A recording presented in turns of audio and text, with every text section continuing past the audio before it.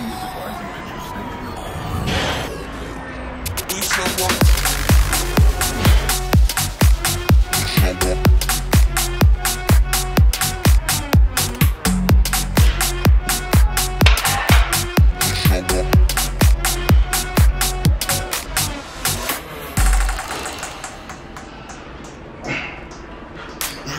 up in the party, flyer than everybody. We show up in the party, fire than everybody. We show up in the party, fire than everybody. We show up in the party, fire than everybody. We show up in the party, fire than everybody. We show up in the party. We show up in the party.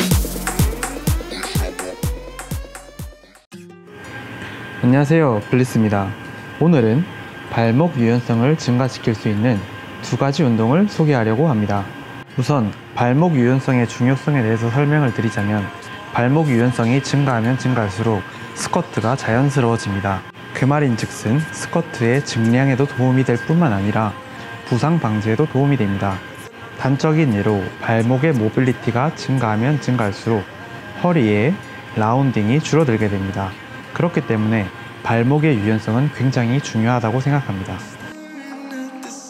일반적으로 mobility를 늘릴 수 있는 방법은 두 가지가 있습니다. deep tissue 마사지, 일반적으로 foam roller 같은 것을 사용하여 딱딱하게 뭉친 근육들을 느슨하게 풀어주는 작업을 먼저 해주어야 합니다. 그래서 저는 바벨을 이용해서 종아리의 뒷근육을 풀어줍니다. 이러한 방법은 foam roller보다 훨씬 더 강한 자극을 줄 수 있고 그렇기 때문에 훨씬 더 깊은 근육까지 자극을 시켜줄 수 있습니다. 그리고 제가 이 방법을 좋아하는 이유는 따로 foam roller를 요구하지 않고 바로 squat rack 앞에서 필요할 때마다 할 수 있기 때문에 좋은 모빌리티 운동이라고 생각됩니다. 두 번째로 mobility를 증가하는 방법은 스트레칭입니다. 어, 일부러 조금 힘을 줘서 자신이 갈 수 있는 범위보다 더 깊은 범위까지 갈 수 있도록 무게를 걸어줍니다. 그중 제가 좋아하는 방법 중 하나는 바벨을 이용해서 무릎 위에 얹은 뒤 무릎이 과도하게 앞으로 나가게끔 해주는 것입니다. 이 방법은 인위적으로 발목의 가동성을 늘려줌으로써 발목의 가동성을 조금 더 확보해주는 방법입니다.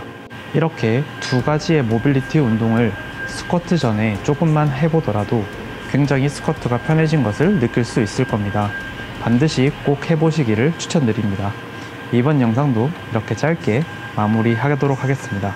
시청해주셔서 감사합니다.